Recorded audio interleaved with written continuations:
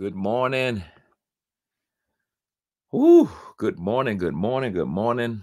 I am I am full this morning, man. I am full this morning. The gospel is being preached around this world. And um, you know, this next generation is getting a hold of it. And I'm just full, man. I'm full. You know, people are giving God praise for his favor, knowing that it's not common, knowing that it's undeserved, uncommon favor. I'm full, man. I, I'm so full. I'm so grateful. I'm so thankful that the gospel of the kingdom, the gospel of grace is being preached. And uh whoo, I just I want to rejoice. I want to rejoice. God is so, so good. I want to rejoice. He is good and he's worthy to be praised. And um, praise God from whom all blessings flow. Praise God from whom all blessings flow. God is so good. Wow. Woo. I'm I'm we ain't even got started yet. And I'm already I'm already about to shout. I'm just full. Oh my goodness. God is so good. And he's so worthy to be praised. Anyway, welcome to the Grace Gang. you know, sometimes somebody singing or preaching and they fall out and forget about, you know, thousands of people are waiting on them to talk. That's what I just felt like. It's like that. I'm just, whoo. When I think about the goodness of the Lord, and I just think about how good he is, and uh, oh my God, I'm just, I'm so, I'm so grateful, so thankful, so I don't know if you know what I'm I'm talking about. Uh, it's just like, you know, in the presence of God, you just you just it doesn't take but a moment for you to get so full and and God just breathes on you. And I'm sure there are a lot of you who think, you know, maybe what you're doing is a waste of time. And who cares? And is anybody hearing you or being ministered by you. And dude, I'm telling you, don't you stop doing what God called you to do. You have no idea how many lives are being impacted by your simple obedience to do and to say what God tells you to do and say. Oh, and he's so good. He's so good, man and there is going to be a tsunami of favor to hit this planet. It's already started. And uh, Jesus came to this earth wrapped up in grace and truth. And uh, I'm telling you, man, I'm living the grace life. That's why we had those conferences, man, to teach people yearly on how to live the grace life. And uh man, I tell you what, so don't you quit. Don't you stop doing what God told you to do. Somebody's life could depend on you doing what God told you to do. So you keep doing what God told you to do. You keep it moving, bro. You keep it going. Um, whoever God meant to be impacted by your anointing, your life, your ministry, um, your transparency, um, they're going to be impacted. So please don't stop. Please don't stop. Welcome to the Grace Gang this morning. Started off a little unusual because I'm, you know, trying to hold back tears. I'm so happy that lives are changing and people are getting it and lives are changing. And you know, people keep talking about, oh, I don't know what's happened to this next generation. I'm gonna tell you something. This next generation is is big time, and I'm so glad God's got me teaching uh, in the future. You know, if that makes sense. And and I'm I'm like, man, I mean, these kids, these teenagers, these these people are understanding the word. These people in their 30s and 40s are getting a hold of the gospel of grace and God is able to come in and rearrange their life and change their life. And we're learning how to believe right. And when you believe right, you can live right. and we're not putting so much focus on struggling to try to live right. But what our focus is on, we believe Jesus, and Jesus is taking care of all of the things that need to be taken care of. Woo! Man, you're talking about somebody want to just tear something up, just like, man, just out of happiness and joy. Oh my God. Uh, don't you quit. You hear me? That's the word for you this Monday. Do not quit what God told you to do. And you know, don't let him start talking in your head. Oh, you don't make no difference, or you ain't you ain't ain't nobody paying no attention to what you're doing, what you're saying. Don't you don't you quit, bro. You don't even understand how many lies you won't know. This is what God told me. He says, You will not know the number of people you've impacted until you get to heaven. And I'm telling you the same thing right now. You won't you won't even know the number of people that you impacted. And it's not always when you opened your mouth. Sometimes somebody was watching you and your life as a living epistle um, made the difference in somebody else's life. And uh, so no quitting, no quitting today, tomorrow. Let's keep let's keep moving on, man. This thing, you know, I trust God, and I trust that God is able to do exceedingly abundantly above all we can ask or think. I trust that God's going to put a mission on your life. He's going to put something on your heart to do and you're going to know how to do it. Praise the Lord. And, um, you know, I, I just, you know, God told me to teach the gospel and be consistent about it. And I'm telling you, you you get that word from God. It, it's let me say something. See if you can hear what I'm saying here.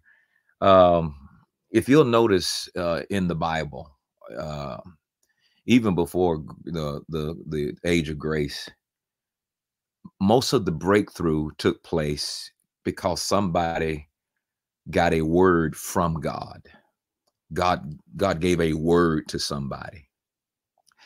And I, I, I'm I'm so grateful that we have the word of God now. You know, in the old covenant, they didn't have the word of God. They had a uh, uh, uh the law, which was God's character, His perfection, that was too perfect for us to keep. Uh, but without it, we would have never known Jesus. But thank God for the word of God. But I, I believe that the word of God positions you to receive a word from God.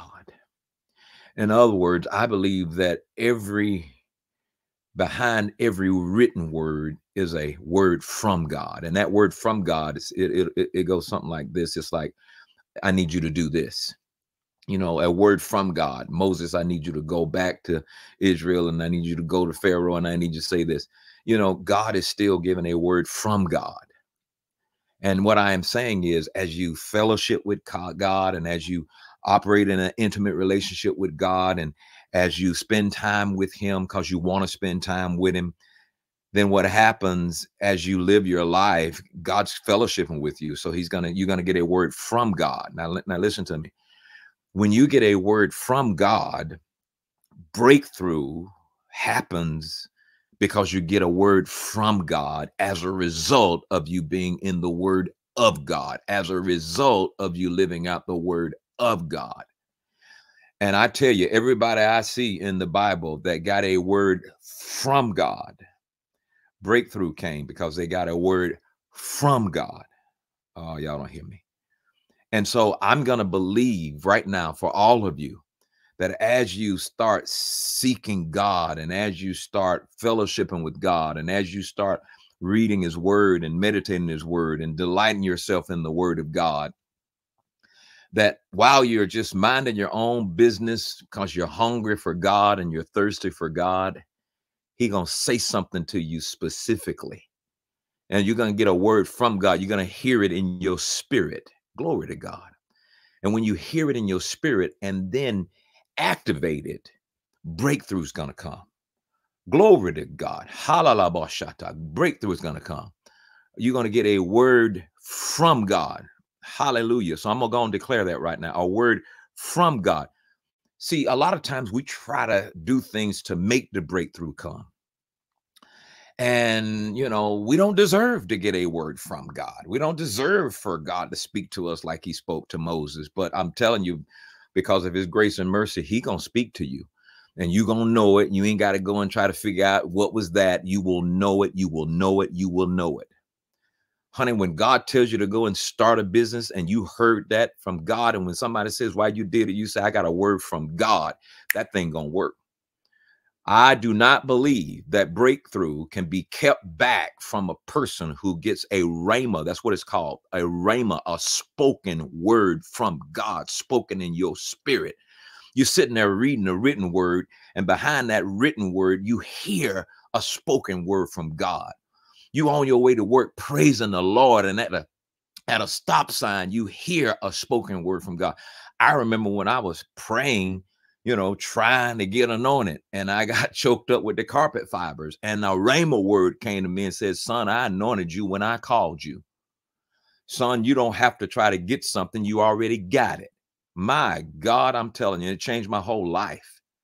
And sometimes the rhema word might just simply be something that just lifts you up so high. He might, he you, you might read about love in the Bible, but boy, when God whispers, you know, I love you, whoa, you're empowered and I believe that there is going to be great empowerment that is released upon uh, the body of Christ that says, You're now up into time, you've been growing in me, you've been worshiping me, and you've been reading my word, you've been meditating my word, you've been studying my word, you've been joining the grace gang and getting fed my word. He says, I'm about to give you a rhema. I'm about to say something to you to shake your world. My God, I'm about to say something to you that's going to shake you loose from your, your tormentors, it's going to shake you loose from burdens and yoke. Brobosha, I'm going to shake you loose with a rhema word. Glory be to God. Woo. My, my, my, my. I, I feel like shouting this morning, Grace Gang. I'm telling you, I I tell you when th- there's you know, you don't you don't work to try to get a breakthrough. Honey, that breakthrough comes supernaturally with that rhema. And if you trust God enough and depend on God enough and just do what he tell you to do. Now, sometimes people think as they carry out that spoken word that it will you'll be carrying it out with no resistance. Are you kidding me? Satan gonna try to come against you with everything. That's what he tries to do. He comes to kill, steal, and destroy. He wants to listen. He's not gonna roll out a red carpet for you to carry out what God spoke to you. But I'm telling you, in the name of Jesus, he will not be able to stop a man or a woman of God who has heard from God. You're almost invincible. Y'all, excuse me. I'm, I'm, I'm, when you when you get a word from God, along with the word is the ability to carry it out. Along with the word is the ability to to see it manifest. Glory to god. And it's like yeah the devil gonna try but you're when you're fueled with that rhema word i don't care what he try to do that rhema word is like an empowerment that shields you strengthens you, accompanies you. And that's why I'm talking about a, a personal relationship with God, not a religious relationship where we know how to act in church and we know how to shout, we know when to say amen. I'm talking about power, real power. Power is the ability to get the job done. And I'm telling you, when you lean and depend on Him, and you lean and depend on the grace of God, hallelujah, you're going to walk in uncommon favor. Maraha, you're going to walk in favor. Woo, glory to God. That people going to be thinking, where did that happen? How did you do that? And you'll know, no, man, I'm, I'm just walking in the grace that God has released into my life when he spoke to me and told me to do this. Sometimes God will tell you to, to be at certain place. We had several people last year at Grace Life Conference. God told them they were from a, another part of the world. You need to be at that conference. You need to get there at that conference. And they got there and breakthrough comes. I I've said it like this, and I don't know if many people really understood what I said, but I said it like this.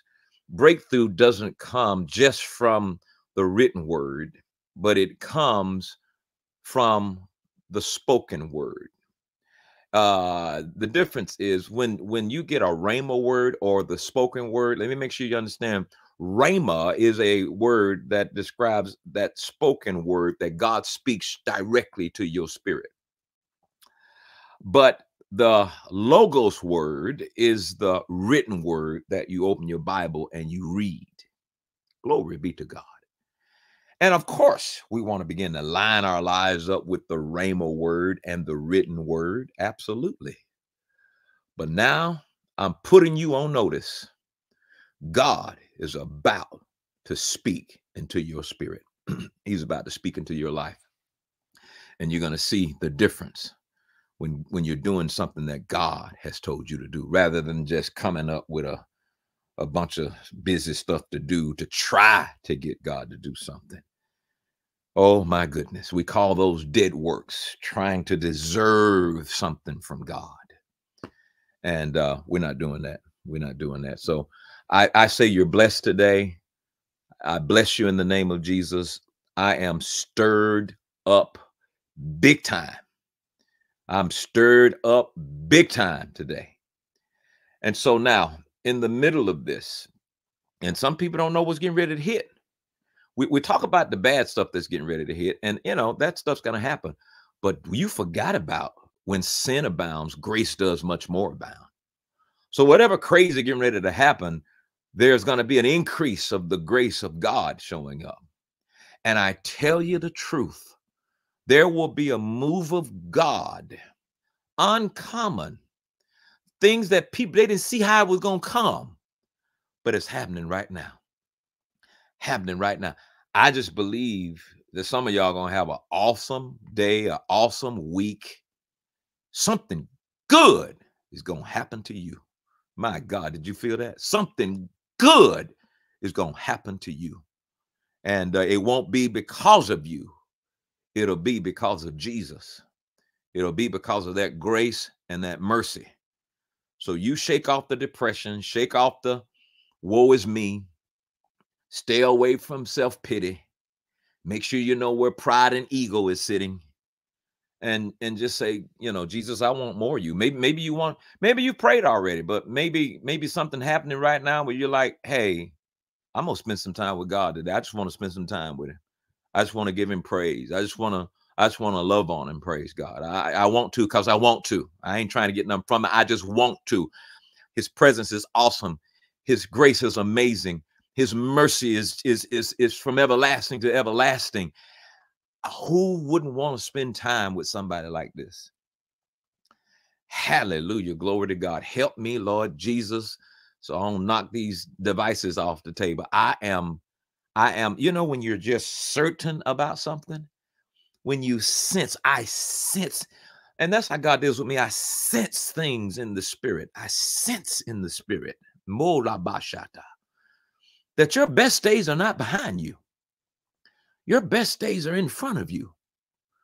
Glory be to God. Hallelujah, hallelujah, hallelujah. Hallelujah, hallelujah, hallelujah. Praise God. Praise God from whom all blessings flow. Praise God from whom all blessings flow. I pray that an anointing go through these platforms right now, right where you are. This anointing, wherever you might be on a ship, an airplane, a boat, in your house, at the bathroom, at your job. I pray this anointing come on you.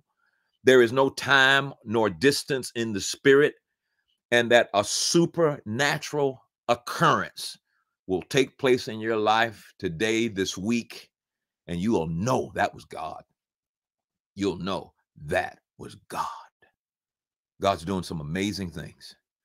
And uh woo! Yellow. So let, let me give you this real quick. I wanted to talk to you about it. We're Psalms 91 equipped. I'm going to declare that over you this morning. I declare that you are Psalms 91 equipped, and you just say, I receive it. I receive it right now. I receive that I'm Psalms 91 equipped. Now, here's what the enemy's going to try to do. In the midst of all of this stuff that I sense is getting ready to happen, he going to keep trying to use the weapon of condemnation. He gonna keep trying to make you feel guilty. He gonna keep trying to make you feel uh, ashamed. He's gonna keep trying to make you feel unfit. He's gonna he, he gonna keep trying to do that to you because that is the root to fear. And if he can get you to fear, then you know it's kind of like faith. Fear is the faith of the devil, and he's gonna try to bring that on your life so he can bring stress in your life, so he can bring of the manifestation of the curse in your life. It's it's the same old trip. He he doesn't have too many files to go against you, so it keeps going back to the same file. So he's going to keep going back to that file of condemnation. All right. So now Jesus has already set us free. Like I said last week, he's already set us free from the condemnation based on what we do. We're free from that. All we got to do is believe it. Okay. But now there's a condemnation that comes to people who don't even believe Jesus. Okay. And when you don't believe Jesus, you're condemned already. And then yesterday we asked the question, you know, you know, are is our believers not believing? So the whole point is the Holy Spirit wants to deal with our sins by dealing with our unbelief. So I wanted to talk about four things real quick. I gave them yesterday, but I felt like spending a little bit more time in them. Four signs that you are living in condemnation so you can get out of it. Get out of it. You cannot you cannot stay in condemnation because the enemy is going to use condemnation to try to impact your faith in the grace of God. Okay? So don't let that happen. Get rid of the guilt, get rid of the condemnation, get rid of the shame. How do I do that? I believe in Jesus. I depend on him. So number 1, we said this yesterday. The the first sign that you're in condemnation is you think about the past a lot.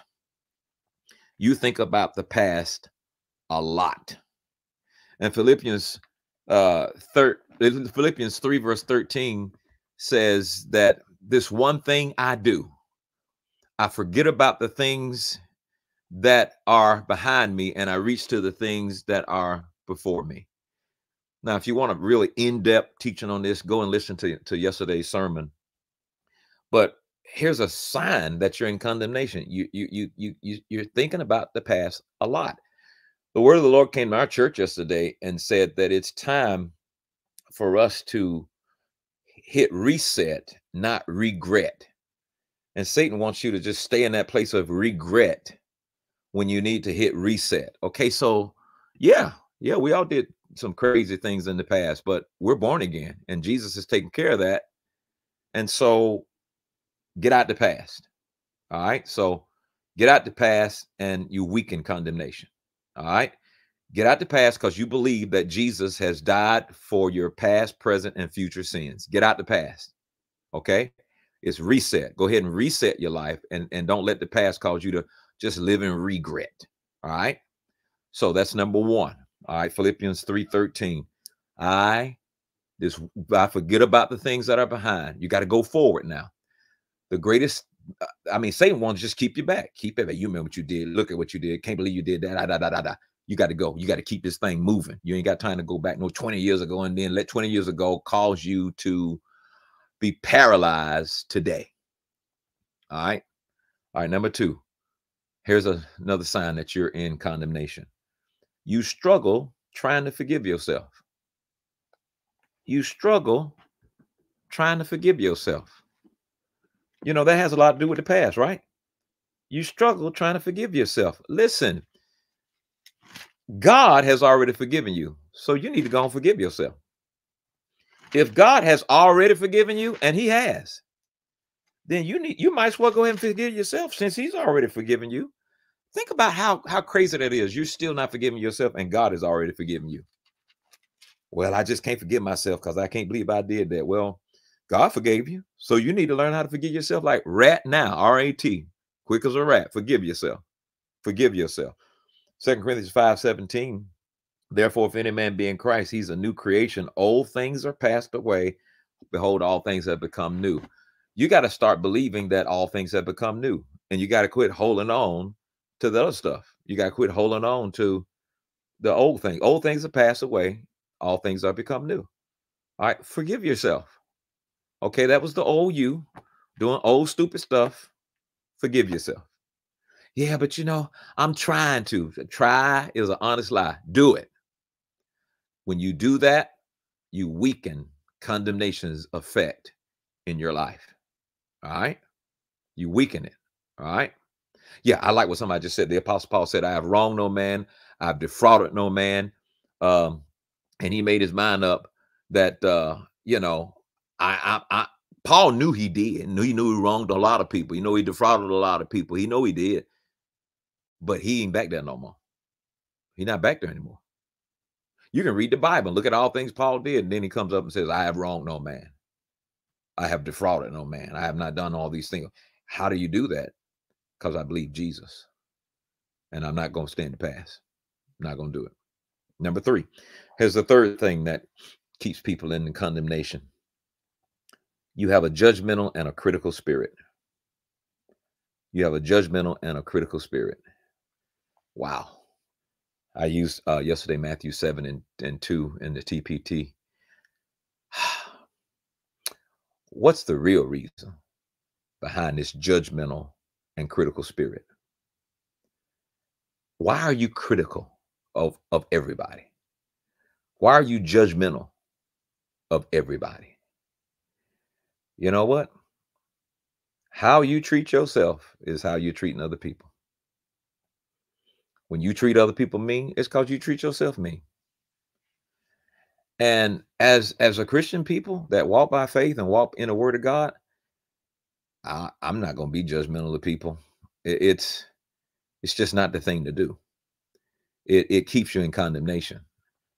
It's a condemned man that has no problem always judging other people.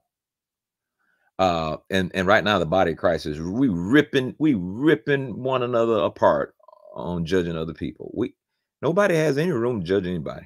I believe everybody got enough to work on on their own without paying attention and being busybodies getting in somebody else's business. It just we don't need to do that. Um yeah, it's like, you know, judge not lest you be judged. Maybe you've been judged, so now you're continuing to judge other people and being critical of everything and everybody. Part of that is jealousy. Part of that is envy, just always critical of everybody. When the Bible says, rejoice with those who rejoice, all of that comes from condemnation, judgmental spirit, and that condemnation, that the judgmental spirit and critical spirit, it, it, it comes from the root of condemnation, which produce fear. And then out of fear, you're you're judging and and um, and being critical of somebody else. Whew. And the world's looking at us do that. They're looking at us judging being critical of one another. And it's it's it you will you will greatly cripple condemnation when you make your mind up that i'm i'm not going to be jealous or envious or critical of anybody. I'm just not going to do it. I'm just not going to do it. Whether something's true or not i'm i'm just not going to do it. Because you know you know, God didn't tell me to be critical and judgmental of somebody. He told me to pray for people. And, you know, I'm just not, even if it's true. I used to think, well, well, it's it's fine if it's true. If it's true. and my wife kept like, no, it ain't. You know, because I'm thinking I was dealing with complaining. And I said, I, I can come, it, it ain't complaining because it is true. And she said, yeah, it is. She said, you're still expressing your disapproval and your frustration with something you're that's complaining. And and i tell you what when you start spiritually maturing and emotionally maturing you start looking at these things a lot more in depth you know? And uh, it's like everybody got something in their life that they need to go ahead and judge themselves on okay? Just go ahead and judge yourself on it and then nobody will judge you on it. But you know you understand the world doing that but not people that are in the same body, people who, you know, it's just like my hand slapping my face all the time. Uh, so we, we don't want to do that. Okay. And then finally, and this is a big one Romans chapter 5 and 8, you feel unworthy. If you find yourself feeling unworthy, most likely you're dealing with condemnation because God has made you his beloved and he has he has absolutely made it clear that you are worthy. You're worthy of his son. You're worthy of the blood that he shed. You're you're worthy of the the right to use the name of Jesus, you are absolutely worthy.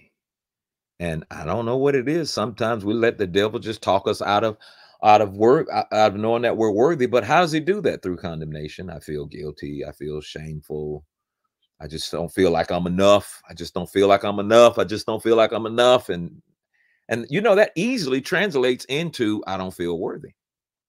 And that's what condemnation is all about. Ultimately, to get you to the place where you say, I don't feel worthy. I don't feel worthy of God's love or anybody else's love. I don't feel worthy of God blessing me or anybody else doing something for me. And you're just, you're just handing your life over to Satan on a silver platter. And it is going to have to be by faith. And you're going to have to have courage to stand up and say, I'm enough. I'm worthy. I am God's beloved. And I am free from, from condemnation. And I believe God. And when you do that, condemnation is so crippled because most of condemnation takes place in your mind and your soul. It's the stuff he can say to you to try to condemn you. It's the stuff he can say to you to try to get you to feel like you're not worthy and like you ain't worth nothing. But I'm telling you, you are. You are because you're born again and you are sons and daughters of the Most High God. And He loves you and He created you in His image you are enough. You are worthy. You believe in Him. Therefore, there'll be no more shame, no more guilt. Praise God. Amen. So, hey guys, it was it was good this morning. I'm I'm excited. It's gonna be a good day today. Good day today. Good day today. Good day today. In the name of Jesus, we send prayers out to you know, people that are being attacked in their body. I sense that right now. Um, somebody, if you're if you're being attacked in their body, you know people that are being attacked in their body. Let's let's agree right now. Let's release the power of the Holy Spirit to set free, to heal, to rescue, to do the things that need to be done. You got to understand the enemy ultimately what he wants to do is just get you out of the way and we have power and authority over him. He just wants to get you out of the way. And um, that's not going to happen. That's not going to happen. So we pray for people who are under attack. We pray for those people you know that are in ICU. Uh, emergency situations happen. And I just pray, I, I rebuke the, the, the devil. I rebuke death and I declare that they will live and not die. Whoever, whoever it is, I just have this in my spirit. Whoever it is, they will live and not die.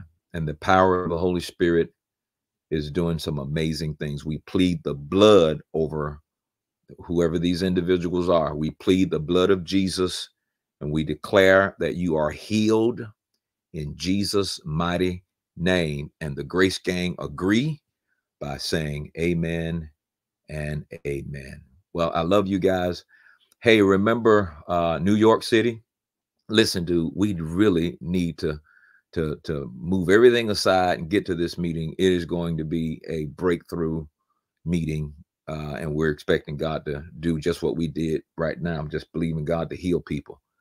And um, April 26th, we're gonna believe God that a move of God will hit New York City and and, and just stay there. Amen and that that that that we believe in God for that. So um, April 26th, if you haven't registered, go ahead and register now.